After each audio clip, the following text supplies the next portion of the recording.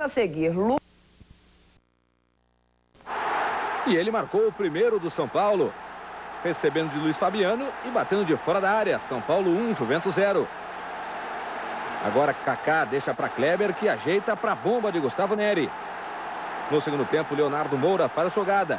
E rola para Kaká marcar o terceiro do São Paulo.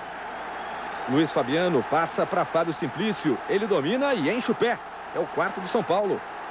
Agora Luiz Fabiano chuta, Buzeto solta e Leonardo Moura aparece para fazer 5 a 0.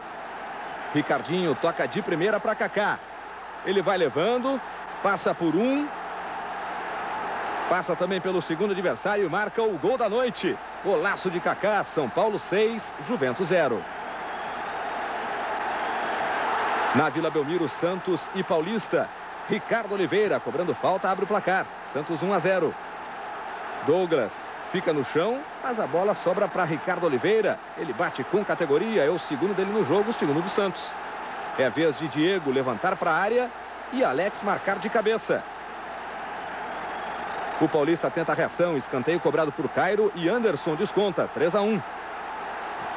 Falta para o Paulista, Cairo de cabeça e o árbitro dá pênalti no toque de mão de Renato. A cobrança do pênalti é de Wagner Mancini, mas a vitória é do Santos, 3 a 2. Sobrou, foi arrancando o dente junto.